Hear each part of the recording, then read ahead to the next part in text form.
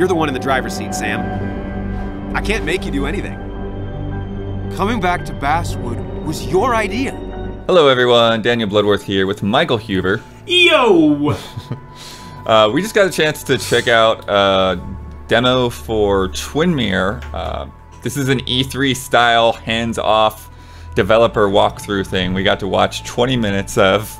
Yes. Uh, yeah, very high security on yes. this footage. Yes. Email bouncing around. Yeah, yeah. They had our, they had an email bouncing on the screen, so we couldn't record it and get away with it. Uh, but they did provide some uh, some B-roll as well. We got about four and a half minutes of B-roll for a 20-minute uh, presentation. Nice. Uh, but yeah, if you're not familiar with Twin Mirror, it is from uh, Don't Nod, the same studio behind uh, Life is Strange and Vampyr and Remember Me, and very much more along the lines of Life is Strange, narrative-focused adventure, explore and talk to people and stuff like that.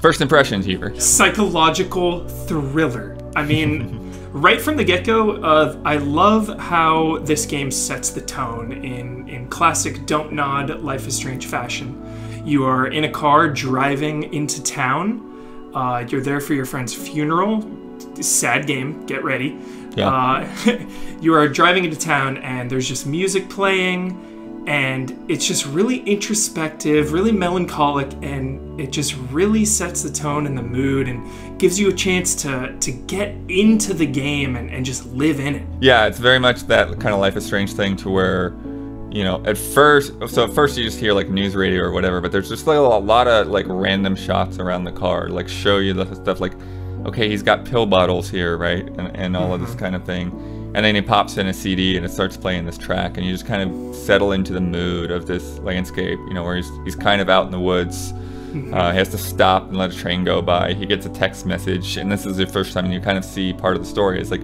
you know, are you coming to to the wake? Um, and that's what he's back in town for, is uh, mm-hmm. because a friend of his died.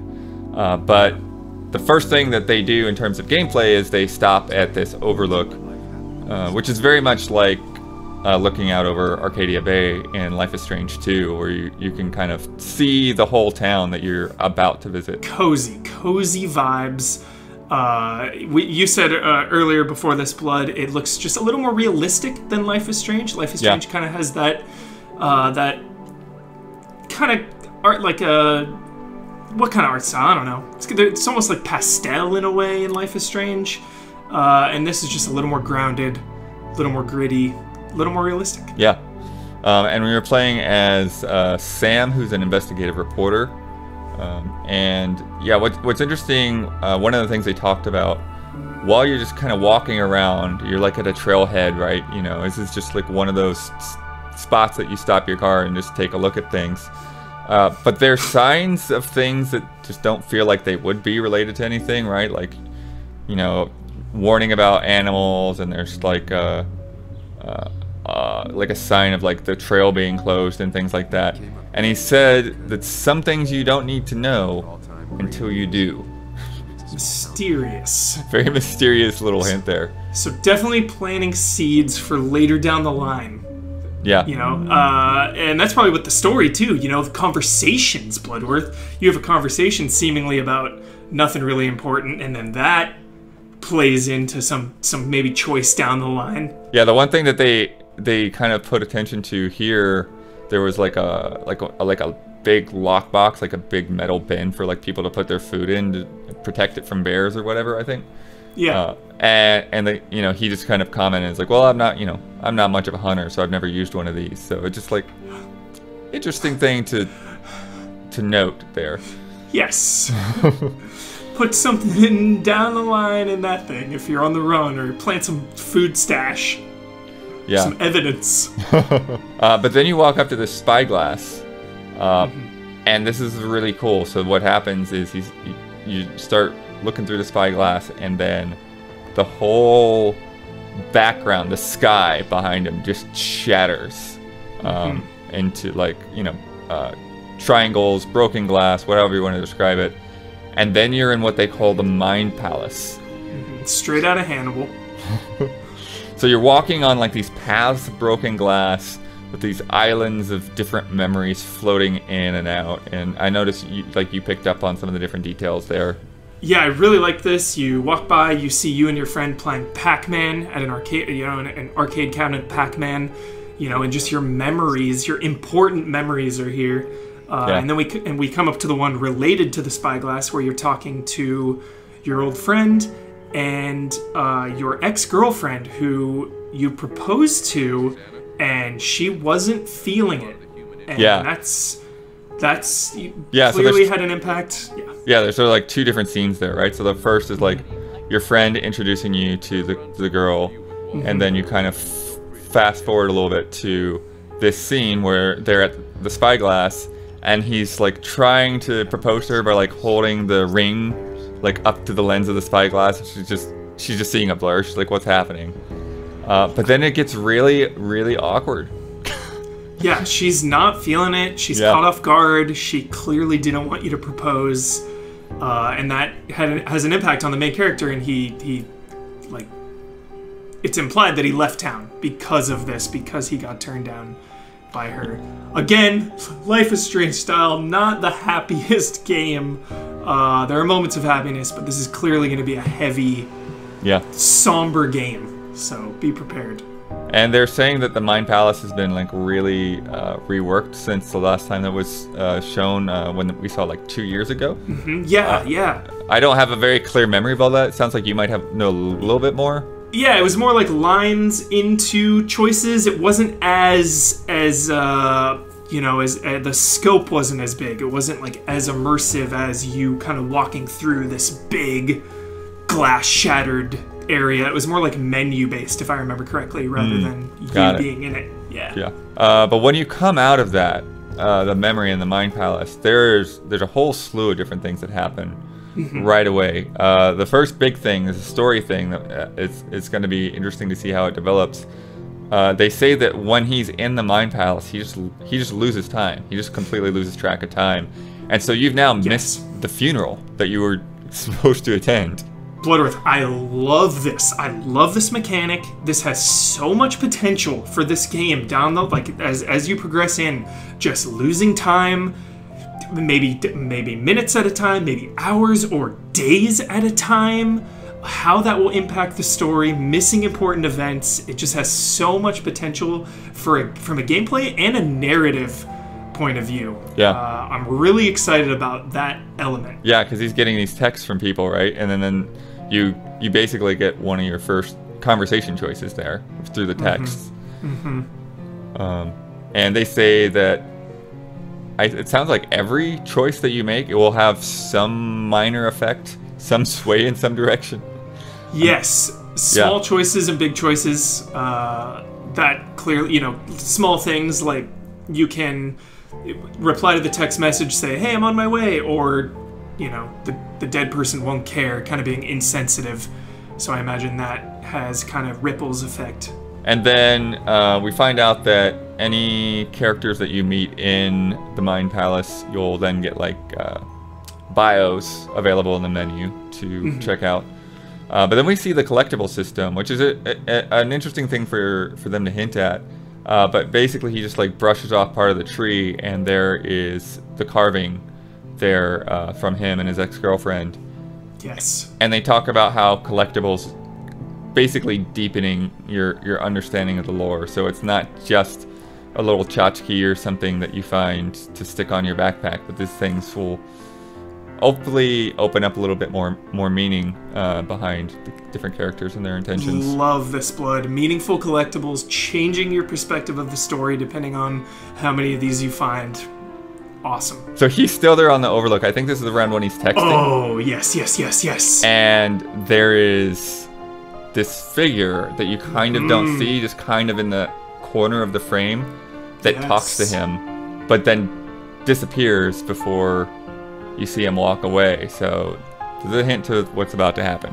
Yes, so then we go to the bar, uh, and our deceased friend had a daughter, and we're her godfather. Uh, she's 13 years old, and we meet her outside of a bar Joan. talking. Joan, and she, uh, she, you know, it's cold outside, so you guys get in the car to have a talk, and she's like, "Where did you go? You left me. Like, why did you leave?" uh, she feels abandoned by you, and she's kind of giving you a hard time about it, which is understandable. You know, you you left, uh, and again, you can handle this conversation in different ways. You get different choices. You say like, uh, the choice that they made in the in the demo we saw was, you know, let me let me try to explain. It's more than just about me and you. You know, after my girlfriend turned down my proposal, I just needed to get out of town. I moved back in with my mom in Connecticut. Oh yeah, yeah. Actually, because yeah, because he was living with his girlfriend, Mm-hmm. and so I guess his mom was like, so that's an interest. What is going on with that? It's like his mom was his only option, and so because she lived out of town, he had to leave town. Maybe just an excuse to, you know, Maybe, but to it's get like out. I wonder if there's I, I wonder if there's more to his mental state that goes back beyond you know just this you know uh, uh, rejection thing, right? Because I, I I think in some ways like I taken it as like okay, well the rejection thing kind of spiraled him a little bit, and maybe some other stuff happened. There's there's got to be a little bit more behind the scenes, right? But no, it's like maybe he was already having issues. Maybe he had already lost his job because of being lost in the Mind Palace and not showing up to a, a, an important meeting, or who knows. Mm-hmm. and he, and he lost his best friend. What if he? What he might feel responsible? He might have been involved with it for all we know. Like, uh, because that's the next thing that happens is Joan wants you to investigate. She doesn't think her dad would have died this way. He died in a car crash, I, I believe they implied. Uh, and he Yeah. said, you know, she said, "Hey, my dad drives like a gra- a grandpa. He would never. This wouldn't happen. Like." and she wants you to investigate. She doesn't believe that it was an accident. She suspects foul play. Yeah, and then while she's talking to you, then we see very clearly the double. The double, which is Sam's oh, alter ego. He's got glasses on. yeah, which which to me is what really sets this game apart.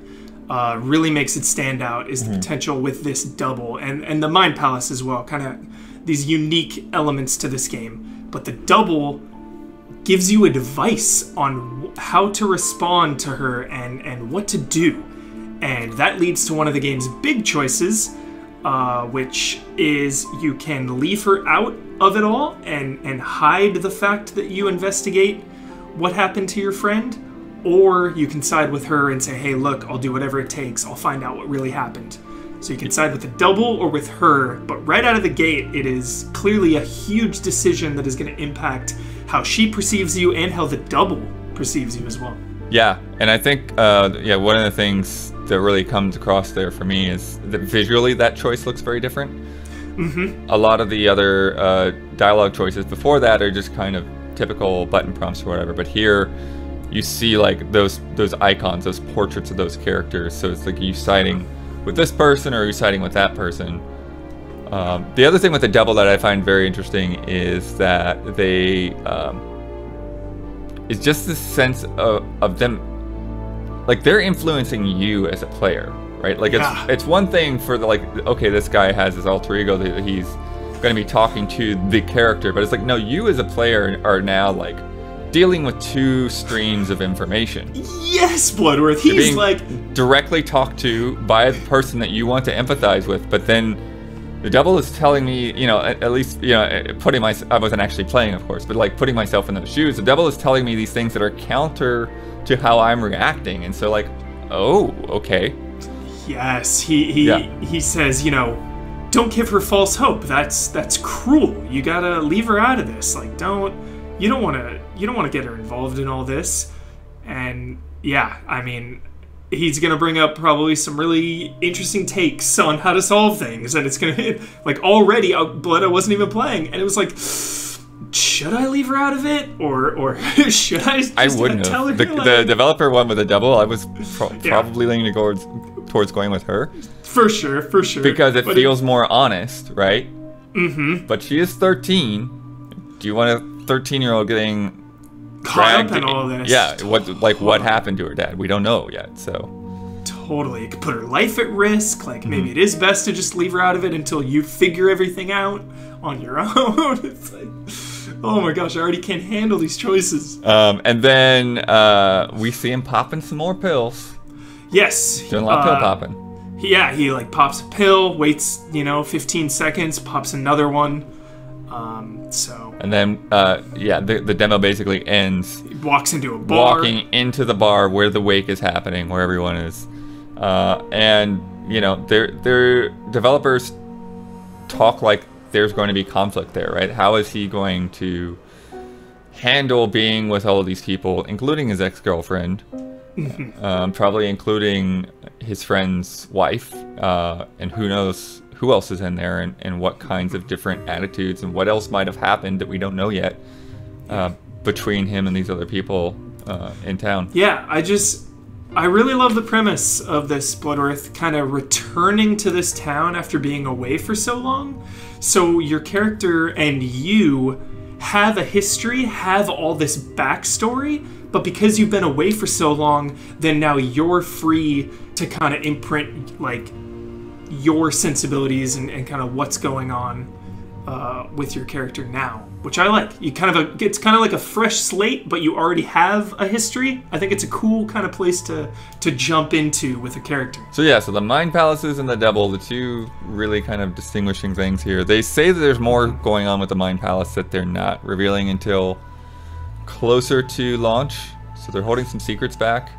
Definitely wise. Uh, they they equated this to a psychological thriller, like movies, long tracking shots, Yeah. moody lighting. So it's definitely a game you want to go in blind to, probably you know knowing as little story beats as possible. You know, it's probably hard to kind of spoil this game because you have so many choices. Uh, but yeah, it's gonna be it's gonna be an interesting one. Yeah, but overall, like I don't feel like the story has grabbed me too much just yet. I think the double is pro- again is probably the most interesting thing, the aspect of it, just from mechanics and like a psychological aspect of it. But uh, yeah, still has a little bit of that don't nod stiffness, a little bit Yeah. of time to get used to characters. Yeah, a little stiff. Uh, just the animations, like the the voice, you know, the lip sync and stuff. I know that's so nitpicky, but you know, it kind of that uncanny valley where it looks really realistic, but it's kind of unnatural. So, But but yeah, Bloodworth, man, I'm invested obviously because of Don't Nod. Uh, and I just get invested in characters immediately, man. Like this guy's story, like I want to know, dude. I want to help Joan. Like I want to, I want to make things right. yeah, I, I, likewise have really been a fan of their games and Supermassive and Detroit Become Human, and so this is very much along those lines. So looking forward to see more. absolutely, Bloodworth. Thanks for the chat. Thank you.